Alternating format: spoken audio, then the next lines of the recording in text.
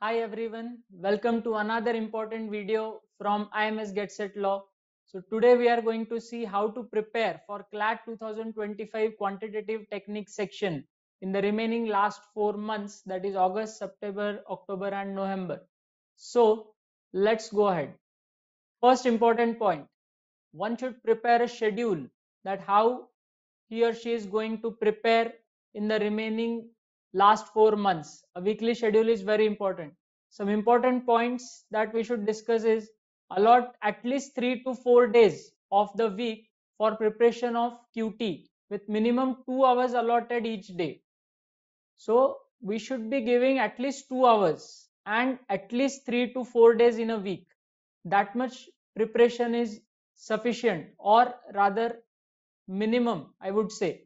So for QT, taking in consideration the weightage of QT, we have decided that this much allocation for QT section in a week is necessary and sufficient also. Next important point is invest at least 70% of the time allotted for QT on most important topics like percentage ratio, average profit loss and data interpretation. So most of your preparation should be on the areas which are being asked again and again in CLAT from last four to five years, which has high weightage. So you should also prepare most of the time on these important topics. And prepare a to-do list for every week and tick mark the task once completed so that you get a sense of get a sense of achievement that you have completed the tasks that you decided in that particular week. So keep following such schedule every week. Next important point is how to prepare for a topic. To learn the basic concepts and formulae first important thing for preparing any topic is basic concepts and formulae of that topic. Then we should solve the word problems based on that topic so that we understand the application of concepts and formulae that we have learned. We understand that applying of concepts in the given word problems.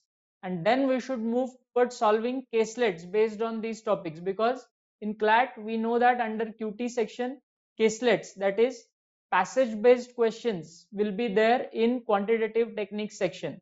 So application of these concepts and formulae first has to be done in word problem and then we move to caselets so that we understand the important data from the passage and then we solve the questions asked on that passage as per the concepts of that particular topic. And next, work on improving calculation speed and accuracy. Along with learning concepts and formula, it is very important that we solve the questions quickly and accurately. Your calculation speed will also matter because you cannot spend too much time on any particular section so same is the case for quantitative techniques. You cannot spend too much time. So you should be fast with the calculation. Whatever number of questions will be asked, that will be around 10 to 12 questions in this section. So you cannot spend more than 20 minutes for this particular section. That's why your speed of calculation should be fast as well as accurate. Next important point is learn the basic concepts of each topic in the order that is mentioned here. So order of topics, first we have taken important topics like percentage ratio, average profit loss and data interpretation. Then lesser important topics should be prepared in the later stages. So simple interest and compound interest and geometry, algebra, time, speed, distance and time and work. These six number and seven number, these topics are lesser important for CLAT. So you should prepare it later. You should keep most of your time for the first five topics that are mentioned here and your order of preparation should be as mentioned here.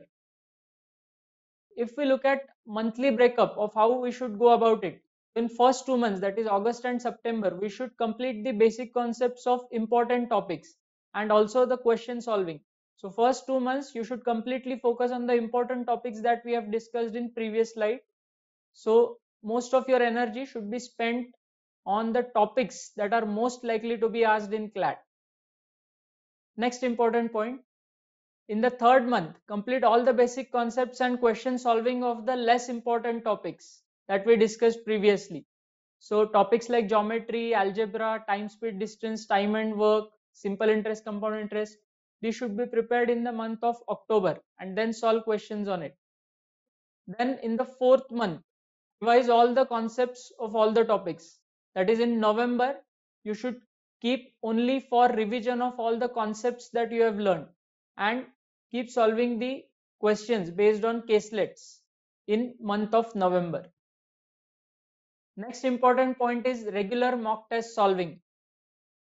So we should solve mock tests regularly so that you understand your strength and weakness. You understand how to solve questions in which order. One should always solve the questions in order from easy to medium to difficult.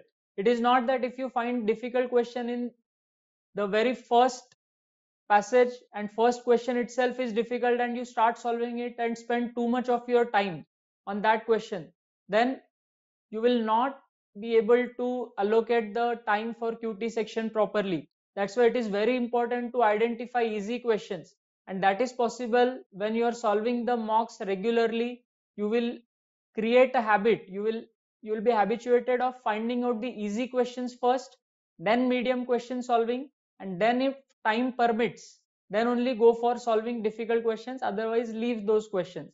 So this skill will be developed only when you are solving the mock test regularly. So each week you should solve at least one mock. After solving the mock it is very important to analyze the mock to understand your strength and weakness accordingly so not only solving the mocks but analyzing your strength and weakness is also very important.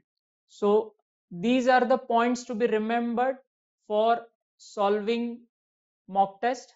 And these are some important points that we discussed to be taken care of in preparation of your quantitative techniques in last four months. So you can score very well in qt section because there are only two passages and five to six questions on each passage. It can be a scoring area if you go like this. If you go with a plan prepare with a plan solve mock tests regularly revise all the concepts work on your calculation speed. If you just focus on these points you can very well score 90 to 95 percent of the marks in this particular section. So thank you everyone keep watching all the important stuff on ims get set law